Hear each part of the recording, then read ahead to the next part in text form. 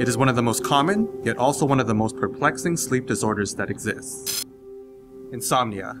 At any given time, it can affect around 10% of the world's population, causing countless hours of lost sleep and wakeful anguish.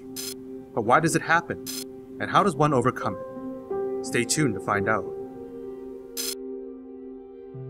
Naturally, we fall asleep at night. It is how the human body reacts to exhaustion, and a part of the innate biological rhythm that our species has maintained for thousands of years. Yet, nearly 30 million Americans suffer from at least a mild form of insomnia that causes them to have difficulty falling asleep when they want to, and which subsequently leads to the suffering of fatigue and drowsiness during the daytime. And during their nights, sufferers of insomnia experience a whole other set of troubles and pains which add to their woes. What time is it right now?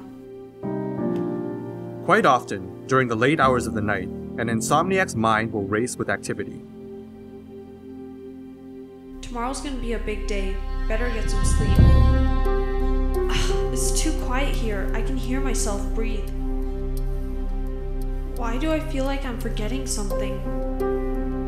And inconveniently enough, many of their thoughts will be the ones that induce the most anxiety, depression, and stress, making it quite a challenge for the individual to find any relaxation right before bed. This is ridiculous. There may be a variety of different reasons which cause these thoughts to become so prominent at night, but once they begin, they become very difficult for insomniacs to suppress. And to make matters worse, some sufferers will also experience irritability, discomfort, or even pain after lying awake in bed for a while. Many who experience persistent insomnia crave for regular sleep schedules and the ability to fall asleep comfortably and to wake up refreshed.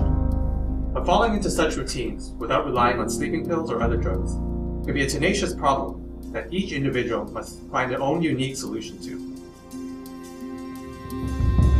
For instance, distractions such as television, books, or computers can potentially stimulate the mind and keep the individual awake for much longer than they desire.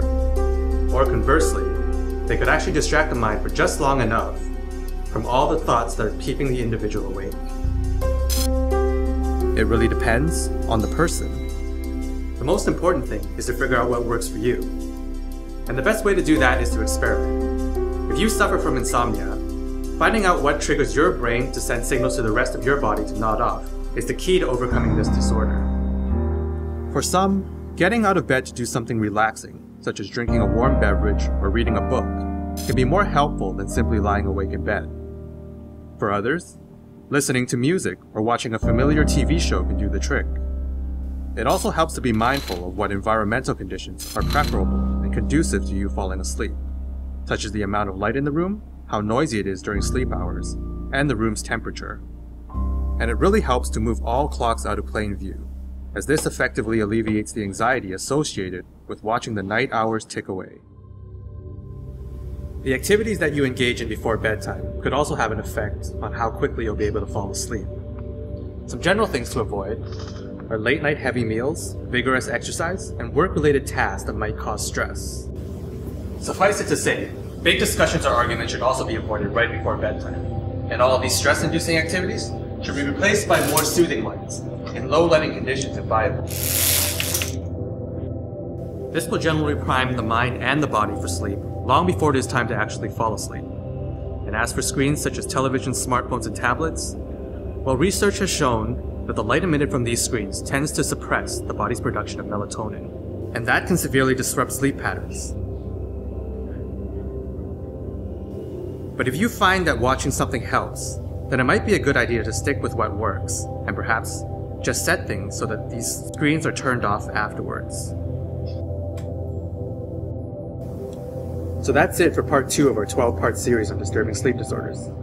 Insomnia is a widespread condition with different solutions for different people. So to continue the conversation, please feel free to comment below with your own experiences on the subject. And don't forget to like and subscribe.